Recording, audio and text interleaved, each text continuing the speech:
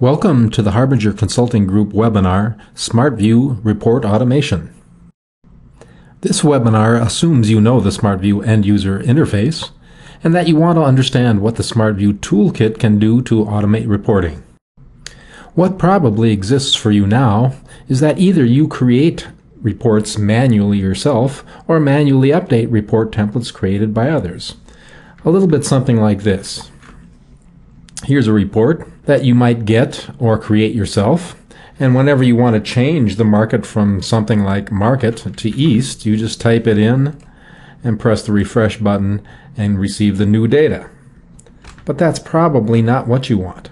What you want is a different analysis for multiple markets, multiple products, etc. And you don't want to create them by hand, you want to create them automatically. Here's an example of a sheet using report automation. You give the end user a report or analysis template from which they can make selections to create the desired reports. They can connect with a connect button, and then after they connect to the database, they can then choose to select a checkbox to change from profit to profit percent, select from a drop-down box the market they want displayed in the report, or select from option buttons which scenario, actual budget, etc., that they want to see. Let's take a look at, a, at an example of that. Here's a similar report. There's a connect login button where the user supplies their username and their password. And once they do so, they can do things like check this checkbox and the cell changes to profit and the data changes. Or they select a different scenario from an option button and the cell A4 and A18 change from actual to budget, and the data changes. I'll switch back to actual so you can see it changing again. And a drop-down box, what's technically called a combo box, where the user can select the market they desire, in this case Nevada.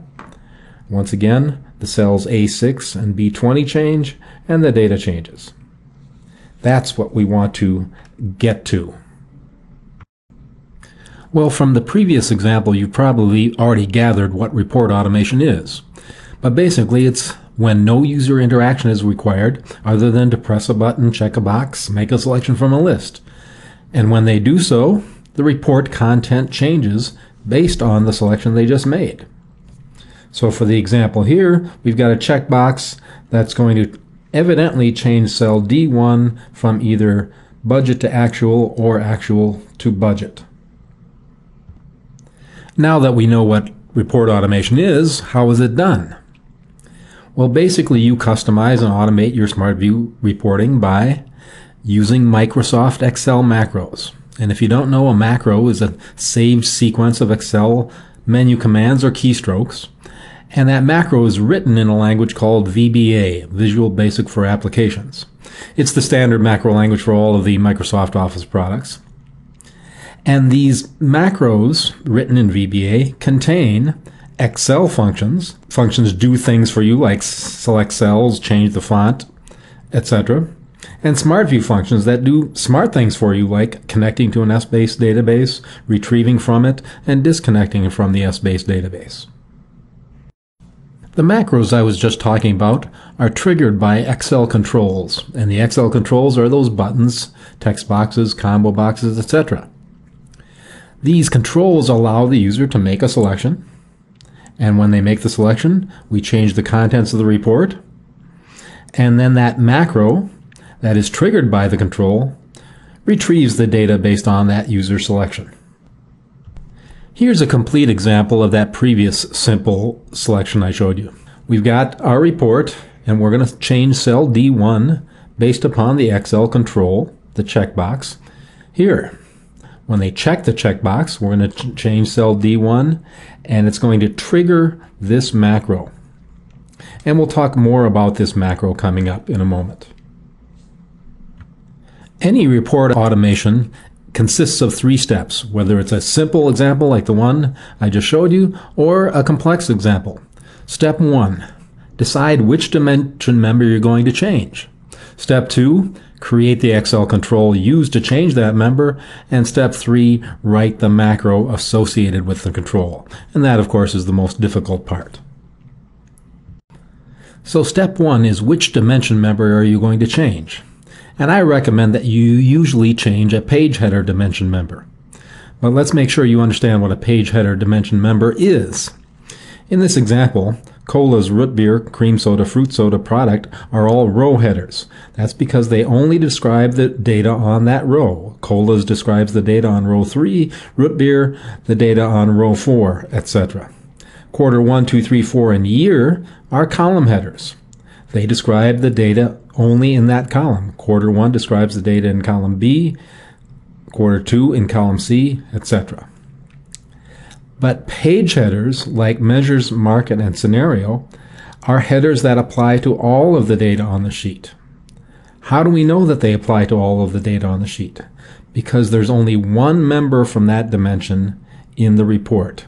I've got five product dimension members. I've got five year dimension members. And I know you may not be familiar with this database, but there are three other dimensions called measures, market, and scenario, and I only have the top level members on display.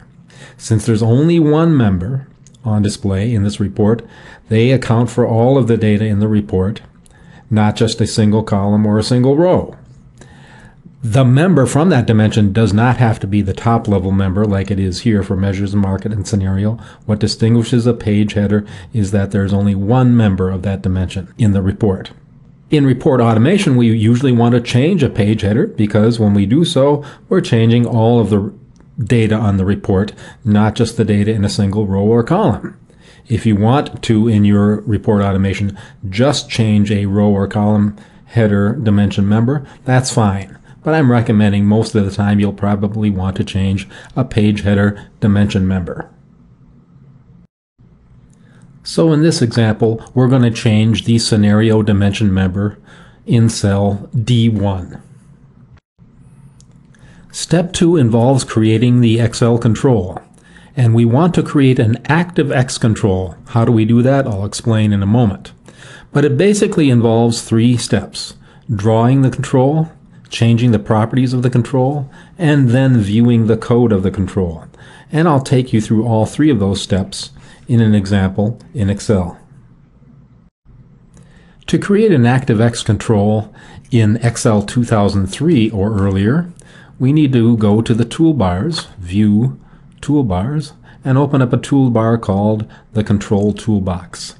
This is the toolbar necessary to create an ActiveX control in Excel 2003 and earlier.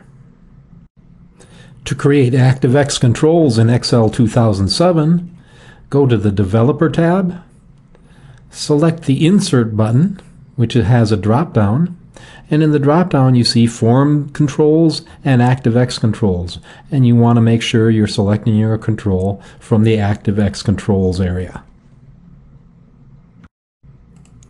In either case, you select the control, in this case the checkbox, left click and drag, and draw the control onto the sheet. Step 2 is to right click the control and select Properties from the pop-up menu. There are many properties for all of the controls, but you'll generally speaking just be working with one or two or three of them. One that you'll always want to change is the name.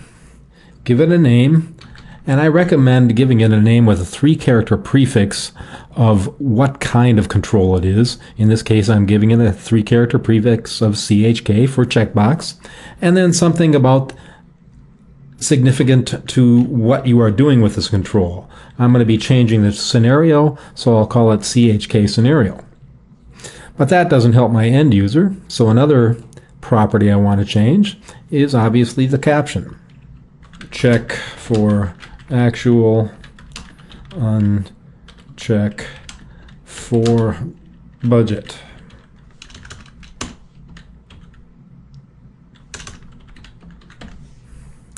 And then close the properties window.